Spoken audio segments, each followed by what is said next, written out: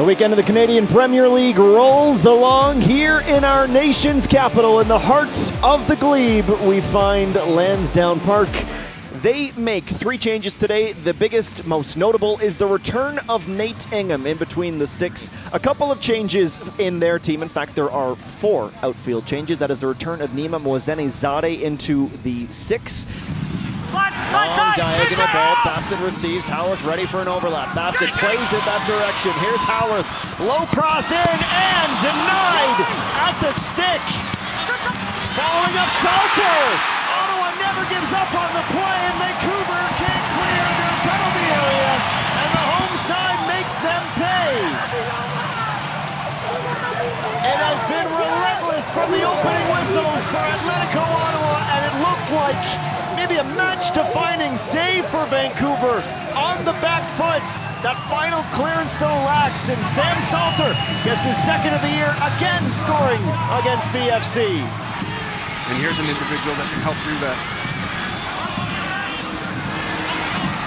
Drops it. Creating the separation on Tyler Crawford. Bassett to the middle. Acosta now. Bassett over for Salter. Feeling himself at the moment. Gets jammed again. Gives it up. Now for Verhoeven. Whoa! A big blast. Cal Irving not to be beat for a second time in three minutes. Up strong to make a big stop. Referees aren't watching for that these days. Update from Halifax, 1-1, 15 minutes into the game. And if you're looking to tune in or you want to go second screen, free on the One Soccer YouTube channel with Nigel Reed and Will Cromack. Haworth, brilliant cross. That's clever. Here's Bassett. Tries to sneak that from the tightest of angles. Mets options. Haworth starts to accelerate. Salter waiting to be played. Never is. Instead, they find Bassett in the middle. Just loses the handle. Verhoeven still moves forward. And then it's a bit catastrophic at the back.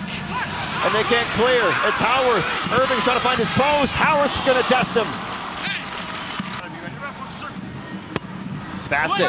That's a tasty looking ball. It's gonna sit for Haworth. Carl Haworth, sidewinder, Salter on the rebound. Espejo denied, still Espejo. And Irving able to make the catch. Well, when it gets undone, it gets wildly undone for Vancouver. They escape without conceding and 10 meters back to the wall is March Ingham positioning it where he wants it. What should be the final play of the half and a chance for Vancouver to equalize. Sandoval goes up, finds the top netting just inches above the woodwork. Now Singh with the lane. Tissot completely unmarked. Cameron flares wide. Tissot, a high cross for Bassett, across for Hoven.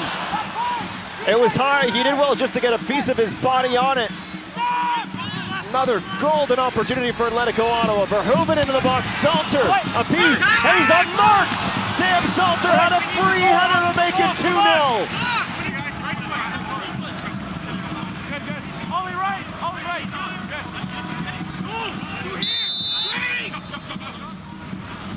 It's Sandoval's turn.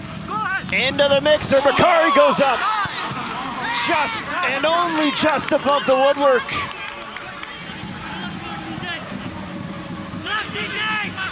Carl Wimet. Acosta sprinting through the center of the park. Here's Johnny Dos Santos. Tissot, Maxime Tissot off the post! If the score lines in both of these matches hold, it will once again become the Canadian Parity League.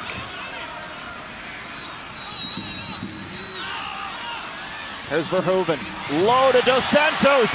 Johnny Dos Santos also misses that back stick. They go low and back to Bitar. Bitar weaving through. Gabby Bitar can't get the ball back. It is chaos in front of goal, not cleared. Crawford has it blocked by Antinoro. And that is full time for Atletico Ottawa before the second consecutive match at TD Place have come away with the full three points at home, starting to make this a really difficult place for opposition teams to come in and play once again.